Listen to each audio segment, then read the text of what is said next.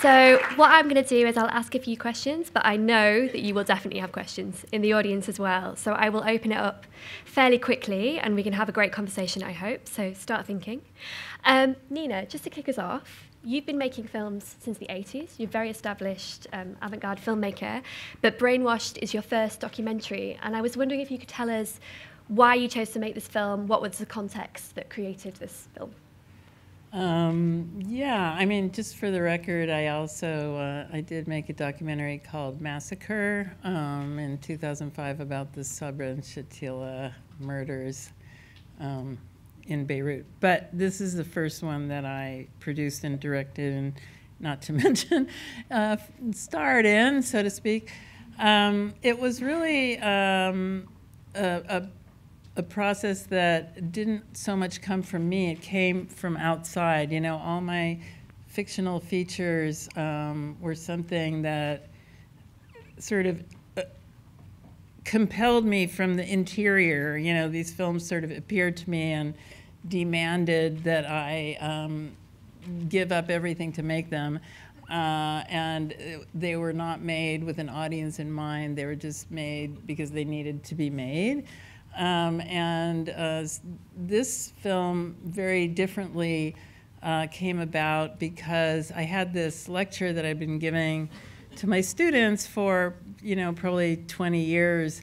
Um, and after the EEOC investigation that Maria was talking about in the film that got women directors, you know, on the map, followed by the Me Too movement, there was sort of a space of interest in some of these issues that never had interest outside a very small kind of ivory tower group of people. And um, I wrote an essay for Filmmaker magazine that sort of outlined the basic triangle, the three points. And uh, this article, right after the Harvey Weinstein um, uh, article hit the New York Times and launched the Me Too movement, I wrote this article tying the three things of the triangle.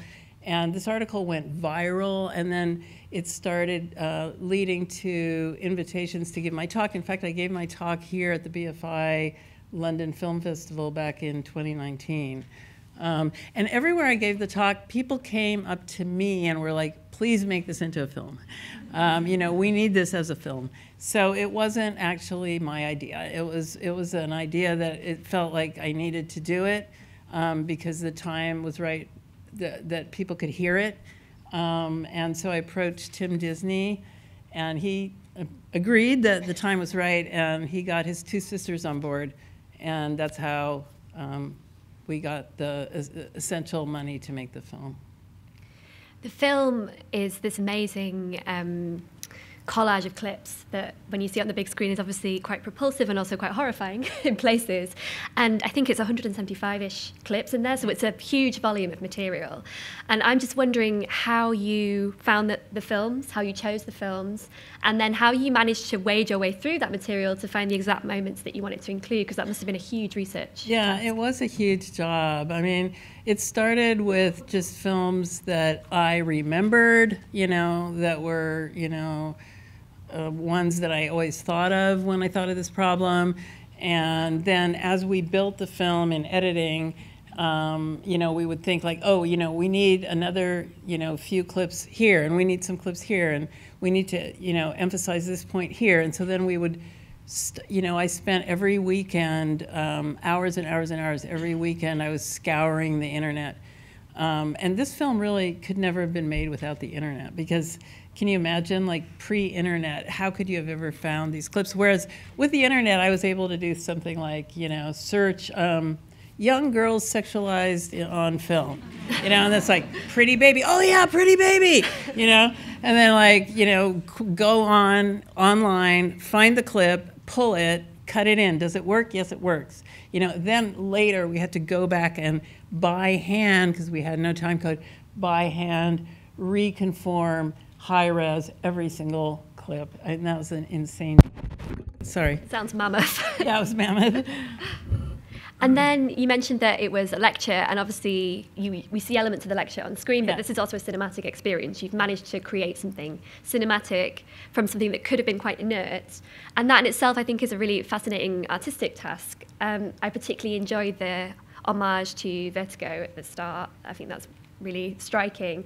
I just wondered again what the creative approach was and how you managed to elevate it into a cinematic piece and how much that was at the forefront of your mind as well. Well, it was at the forefront of our mind that we wanted it to be cinematic. You know, at the same time, like we showed some early um, cuts to people who were like, you know, Nina, you should just be out and just do like voice over, you know, which is a more traditional essay film that it's just clip, clip, clip, clip, clip with a voiceover without my presence there.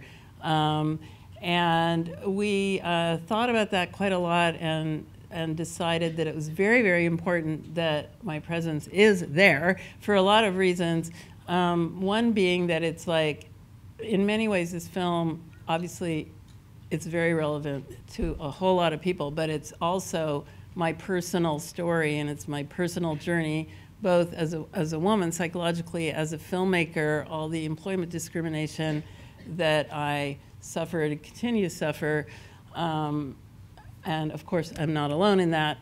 And that, that my sort of physical body on the screen as, as, as a subject, but, you know, and watching the films and, and figuring as a, you know, as a figure who's mediating some of those images, literally, physically, by sitting there, you know, in front of the screen and talking to an audience. So that was another thing that we thought about a lot is that, you know, obviously to make the point, we have to show the clips, you know, and, you know, how do we mediate some of those clips so that it's not just reproducing more of the same? So one of the ways that we mediated the clips is, you know, very short. Another way is voice over. Another way is my body standing there and, you know, functioning as like a mediator for the issue, hopefully. And, um, you know, one friend of mine in Vienna said, you know, when we talk about, you know, Laura Mulvey's famous essay, which is, uh, you know, visual pleasure and narrative cinema, you know, visual pleasure for whom? And the um, this woman said, you know, for me, she was she was telling me like I got actual visual pleasure from having your body on the screen.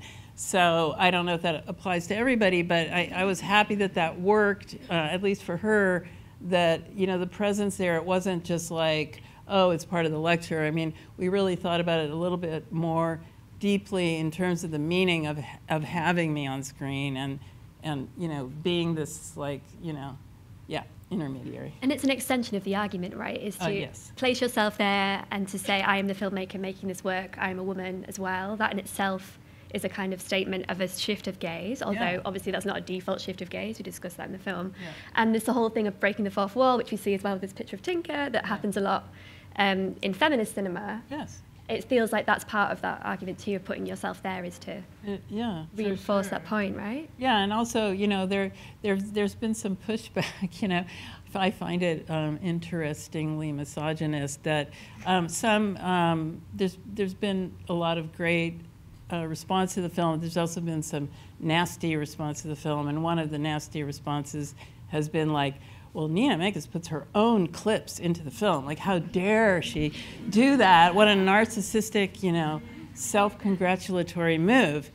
Um, and you know, besides that, the the film is so much my own personal journey. It makes sense, and it's it's you know there are quite a few other clips in there besides my own that I say you know these all these are some films that do it differently.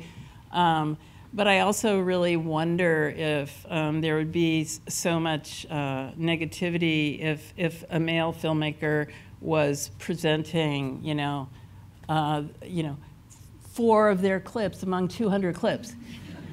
Yeah, and there is, you know, De Palma on De Palma is a film. Like, there are lots of films where. Oh yeah, but they, that's okay. Yeah, exactly. Their own cinema history. Also, you know, make the film you want to make. You want to put yourself in, fine. I know, but I'm just saying, like, people got a little Yeah. like upset about that, and I think it was misogynistic. Yeah. Um, Some people, not and also, um, I think something that comes up in the film that I, I, know as well has been controversial is the fact that you do include female filmmakers, mm. people like Sofia Coppola.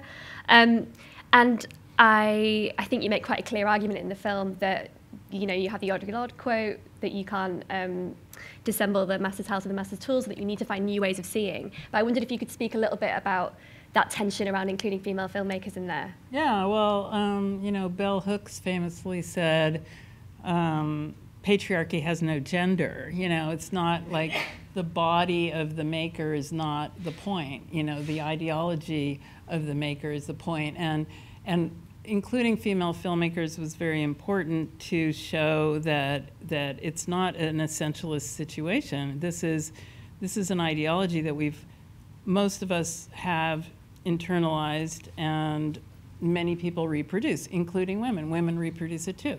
It just shows how insidious it is. And um, I, I, you know, the other thing is like how, you know, you shouldn't attack Kathryn Bigelow because she was doing her best, you know, in an all male world. Well, I wasn't attacking Kathryn Bigelow per se. I was just pointing out that this is a system you know, and, and she's part of a system. And, you know, I, I don't know her motives, and that's not what I'm pointing out, nor do I feel like it's any of my business. I'm just pointing out a systemic problem. We're all, I assume, film fans. We all love cinema here. Um, and I think something that is quite uh, challenging about your film is the way that it presents films that we love uh, films that I know you love, like Metropolis, like Raging Bull, like, um, I mean, it's full of classic films, right? That's the point. But it points out the ways in which even those masterpieces of cinema, even, you know, um, revolutionary films in some terms, like Do the Right Thing, they also perpetuate potentially the same uh, gaze and the same power dynamics that have spread across the history of cinema and that have been um, oppressing women's expression and voices in cinema. And I wonder if how we, as people who love cinema, can reconcile those two tensions and still get pleasure out of cinema when we see these depictions at the same time. Yeah. Well, I mean, I think that's a personal thing for every person um, to kind of wrestle with themselves, but definitely not in favor of, you know, cancel culture. I'm just saying, like, let's bring awareness. You know, like Metropolis is one of my favorite films. I think it's a genius film. I think even that male gaze sequence from Metropolis is a genius sequence. That doesn't mean that it's not interesting to think about it and look at it and then say, like, wow, that's a really classic male gaze sequence, you know? And guess what?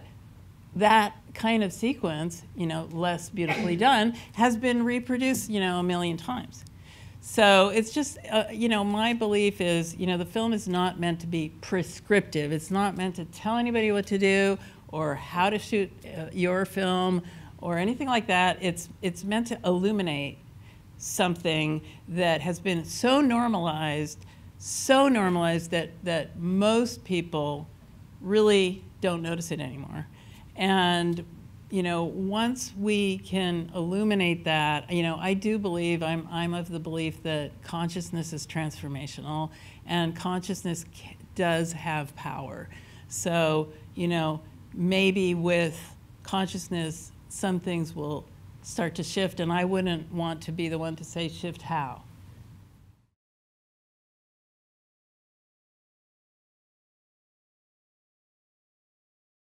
Well, there were there were actually a lot of sort of so-called side streets that we decided not to go down just because it was overwhelming, and we were trying to keep sort of you know a consistent focus and flow. So, I mean, one of those side streets was like the whole age question. I mean, you could have done a whole long section on that, you know, showing the extreme age difference that's just you know ubiquitous, um, gender gender, you know, uh, specifics for how old you're allowed to be.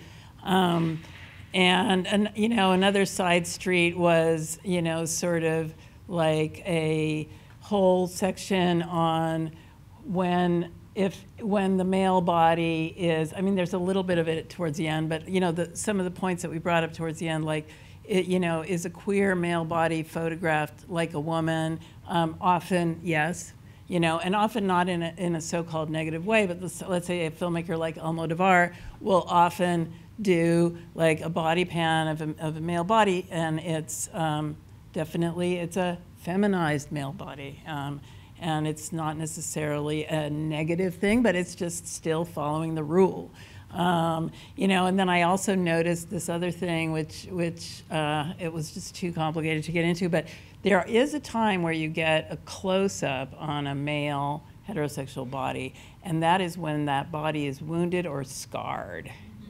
So uh, that was kind of mind boggling because I, I had a lot of examples of that, but then we just felt like that would just be too much of a of a side street and it would throw off the, you know, the, the one flow. So those, those were a few things that I was sad to, to lose, but um, in the interest of, you know, the kind of the total message, the total flow.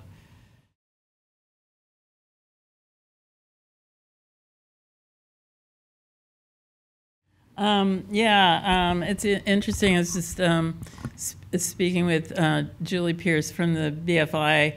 Uh, there's some there's some different laws in Europe you know, and, and even I think Britain is different from France um, versus the U.S. So uh, we made the film under U.S. law, um, under what it's called fair use. I think here it's called fair dealing.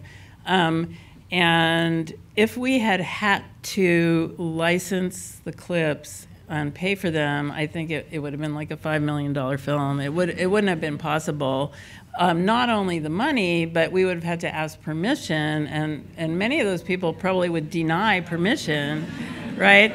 So um, luckily, we were under fair use. Every single clip is under fair use. Um, fair use means it, it, it, it um, what is it? You know, it passes the bar of the legal definition in the United States it has to be a cultural critique, it has to be historical, it has to be educational, it has to be transformative. What they call transformative means that I'm using the clip in a way that's not how it was originally meant to be seen. I'm shining a new light on it.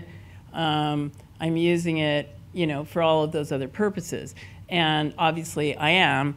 And, but that said, we had an attorney, um, the top fair use attorney in uh, the United States, the top firm, and they reviewed the film, you know, top to bottom probably five times. But on top of that, they reviewed little sections. They reviewed every single clip. And um, there were times where they were like, well, this one, borderline, better take it out. Um, so, there were times where they said, um, yes, the sequence is great, but you have to add a, a, voiceover to make it fly. Or, you know, so, you know, there were times where I was like, I hope I don't have to use a voiceover. Like at the end where all the women are staring at the screen, I was like, please God, don't make me put a voiceover there. Um, and he didn't, so that was good.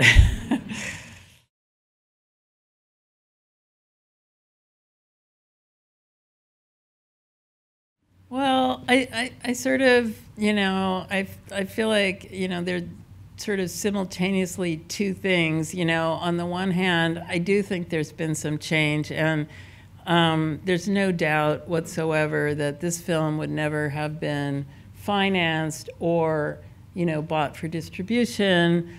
Um, before these two major events. The one was the EEOC investigation in the United States, where the Hollywood studios were threatened with billions of dollars of fines if they didn't stop their illegal sex discrimination. That was 2015. And shortly after that, you know, the Harvey Weinstein story and the Me Too movement.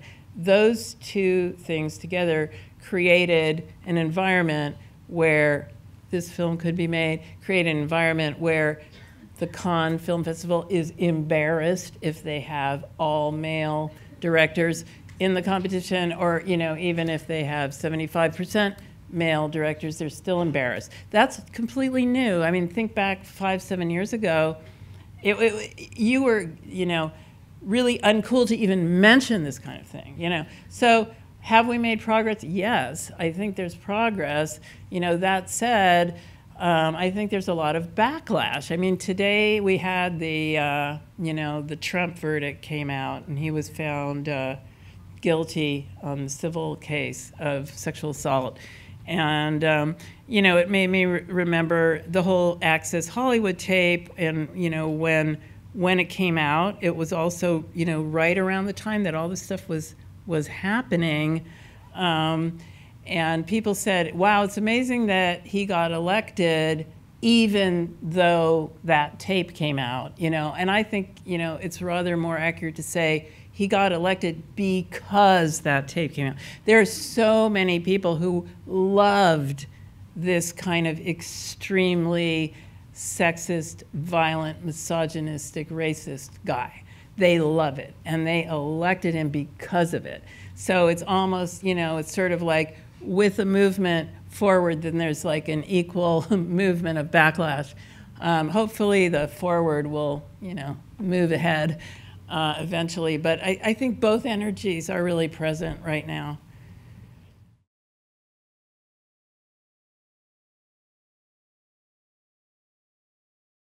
I mean, you know, I don't know about um, in Europe, but in, in the United States, we've been invited to, um, you know, all the major film schools. We had a big event at the UC, USC Film School. Um, we're having a big event at the UCLA Film School uh, actually the week after I come, go home. Um, we've been at Tufts University. We've been, I, I, can't even remember, a very long list of film schools that have invited the film. Um, besides that, the film is available for free in the United States on Kanopy, which is sort of like the public library of films. Um, and it's the educational streamer. Um, and I believe that it's more and more being, you know, I've heard from people. I mean, I, I actually I get like five emails a day or on Instagram from all over the world, you know, and a lot of it is from people saying, I want to use your film as a teaching tool.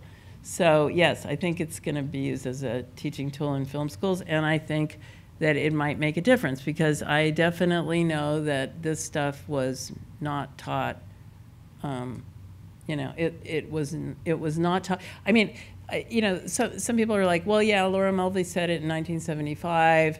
Um, do we need this? And you know, it's like, well, first of all, we need it because even though she said it in 1975, nothing changed until the EEOC investigation in 2015, and even then, you know. Um, but secondly, you know, generally, at least in the United States, the um, you know the film theory crowd tends to be, you know, like extremely divorced from the film production crowd. And they don't really even talk to each other. And the majority of people who go to film school in the United States for production, um, you know, they, they never even heard of uh, Laura Mulvey, let alone any of these other people. So, what, what, because I'm a filmmaker, I'm not a theorist, but I'm a, you know, I'm a cinematographer and I'm a filmmaker. I think that you know, bringing this kind of almost extreme practical perspective. It's like, let's just look, you know, where do you put the camera? How do you move it? How do you light it? Like, forget psychoanalysis, forget all that. Let's just be so, so, in a way, simple. It's not simple at all, of course, but, you know, it is clear, you know? And when you show that to film students or film makers, you know, they get it. And they get it in a whole nother way than, you know, like castration, anxiety, and all that stuff, which of course is all really interesting and relevant. But um, this way, it's more like just in almost like very concrete. And what I do like about the film as well is that you do make that connection between theory and reality in a very and lived experience and what we watch, you know, in popular culture. And the Laura Mulvey essay is 50, or the essay itself was 1975, but she gave the talk in 1973. Yeah. So it's 50 this year. So it's 50 year old theory that still has this incredibly strong uh, influence and resonance in film culture. And I think it's really exciting that this film is bringing it to a wider audience as well. And oh, yeah, I hope yeah, so. Bringing yeah. Bringing Laura to a wider yeah, audience. Laura Mulvey and the Me Too movement. Yeah.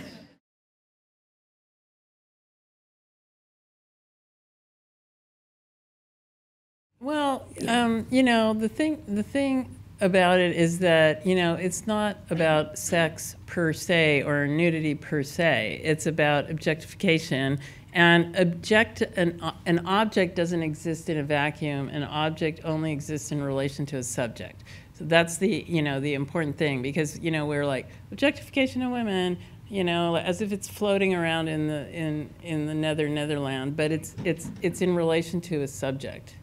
So it's a power relation. So it's not the nudity per se or sex per se. That's what we were trying to show, you know, towards the end of the film, like examples of nudity and sex where it's not objectification, where they're two subjects, you know. So that is, you know, a little bit of a, of a slant, you know. We're saying like, do women have to be objectified, you know? Can, can we have um, two subjects who have a sexual relationship when it's a heterosexual situation? You know, for most people, that's a very radical idea, and they can't even uh, have no idea how to even think about it. Um, and it's very painful. you know, I mean, this is not an academic discussion, right? It's a painful discussion. it's a painful situation. So that's one point. The other point is what about advertising budgets and distribution? You know, like Blade Runner 2049 had a $100 million advertising budget. Like, what, what happens if Brainwash Sex Camera Power has a $100 million advertising budget? you know, and, and women are systematically given worse uh, distribution deals and less um, less advertising. I mean, even if their film is is is, is sexy in the traditional way, they're still going to get less. So it's you know it's not really quite that simple as just like well we want to make money. You know, it's like it's it it's all it's all part of the knot.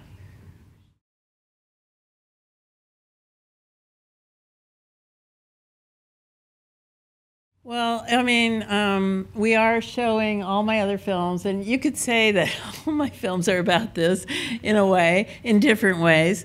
Um, very, all very different, um, and a completely different approach, a more um, maybe avant-garde kind of approach, uh, you might say. Although these are narrative films, but they're um, they're unusual narrative films. Um, so that struggle is certainly at the core of what I what I'm looking at in my films and exploring in my in my own uh, you know fictional films. Um, as for you know, have I figured it out myself? Um, no. I mean, I, I probably uh, am better now than you know 20 years ago, but I, I still think that it's it's so deep. It's so it's so incredible when you think about it that you know a man is allowed to be a subject and a sexual subject. And you know as women we're trained that our sexuality is being in the object position so it's split off from our subjecthood. And i mean i, I most women have experienced this and it's very unpleasant and it's very hard to it's it's it. I don't have an easy answer, but yeah, therapy helped me. I did.